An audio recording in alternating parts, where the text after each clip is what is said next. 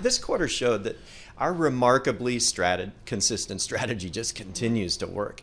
You know, this is the only wireless company in the 35 year history of this industry that's able to offer simultaneously the best value, but also the best network. when did your time. network become the biggest. Did I blink and miss that? It was when we uh, completed our merger with Sprint okay. and then spent two years combining the forces of the company. Sprint had the mother lode of spectrum, but not the financial yep. wherewithal to build it out. And T Mobile had this incredible growing brand, but didn't have the spectrum resources. And so it was a marriage that allowed us to put our heads down and go from dead last in the 4G LTE era to first and best in the 5G era. Today, as we speak, we have more landmass covered with ultra capacity 5G, twice as much as our next nearest competitor. And that really shows the leadership that we have now. And that's one of the things that contributing to all the share gains. Is that the, you know, I was, as a Cub reporter, I covered uh, Deutsche Telekom out of Bonn. Germany before they even moved to Berlin. I flew over with Ron Sommer to Seattle um, when he bought VoiceStream and threw out the first pitch at wow, a taking game. us back. yeah, this is twenty some years ago. Um, but at the time, you know, the idea was, and that was just after the 3G auction. So we're in a completely different world now. But at the time, the idea was you wanted this global network, which was awesome for jet setters, but obviously no one in Seattle really cares that much. They just want it to work where they live. What's the most important pitch to uh, to get somebody to switch over from telephone or Verizon to T-Mobile?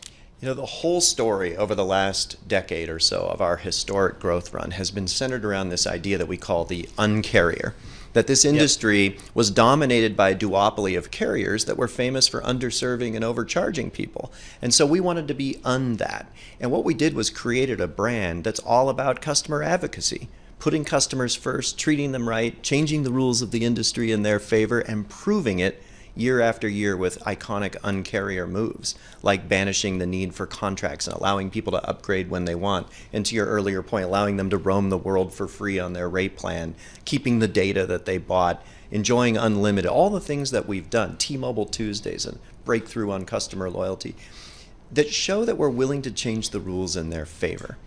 And then you fast forward to now to 2020 and beyond, where we've become the new version of ourselves. Add on to that not just these lower prices and more customer centricity, but the best network too. And it's no surprise that we're experiencing some of the most historic growth rates ever in our history. This quarter alone, 850,000 postpaid net additions, by far the industry leading number, for a good reason. All right, what we'd like to do, Mike, when a CEO darkens our doors, put up your stock versus your peers on a five year basis. Compounded annual return for T-Mobile 16.3% over the last 5 years. AT&T minus 1.2%. Verizon minus 5%. So clearly the equity market is rewarding the stock here.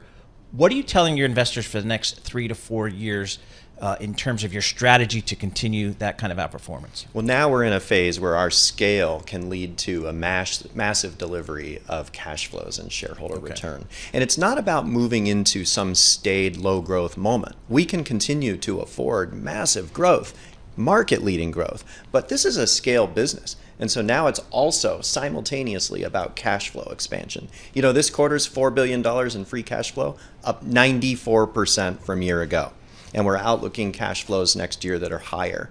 And so we're hitting this run rate now where we can begin to return cash to shareholders. We announced our first ever dividend last quarter, and that's a part of an overall shareholder remuneration program, including buybacks, that we see in the range of $60 billion within a three, three and a half year time frame.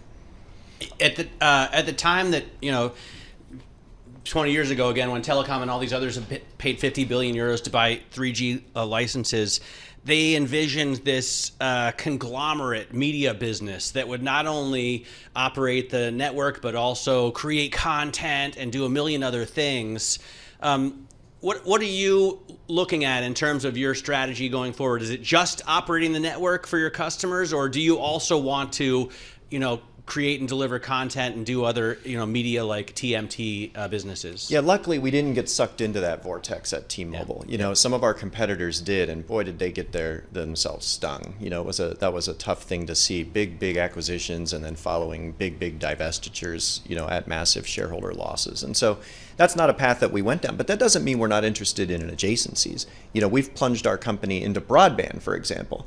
Uh, it's a very close adjacency. It has a lot in common with wireless. And you know, for six quarters in a row, we've been the broadband growth leader in America, with more net additions this quarter than AT&T, Verizon, Comcast, and Charter combined. So, uh, you know, I guess one of the issues, well, let me just say, we have a lot of credit investors that listen to this show, watch the show on YouTube. Um, your balance sheet, I got, I'm just looking at some rough numbers. I'm not a credit analyst, just a little less than four times leverage, I guess, on your balance sheet. 2.7. Oh, 2.7. leverage. Okay, so is that where you want to be? Do you need to get lower? Um, where, where do you want to go there? Well, with the interest rate environment as it is, we announced earlier uh, earlier this quarter that we see our way to two and a half next year. Okay. And you know, so we're going to delever a little faster than than we had previously communicated to Wall Street because of the cost of capital. And I think that was really well received. We continue to see upgrades uh, over time. So we're one of the only big issuers in the country that's actually seeing a declining cost of capital because two years ago we were not an investment grade Yep. issuer. Today we are. Then we moved to corporate family. And so as we get more and more um, improvement in our profile, we're actually seeing some some benefits there. All right, Mike, we got about 30 seconds left here. Subscriber growth, pricing growth. What else do you manage to manage your top line?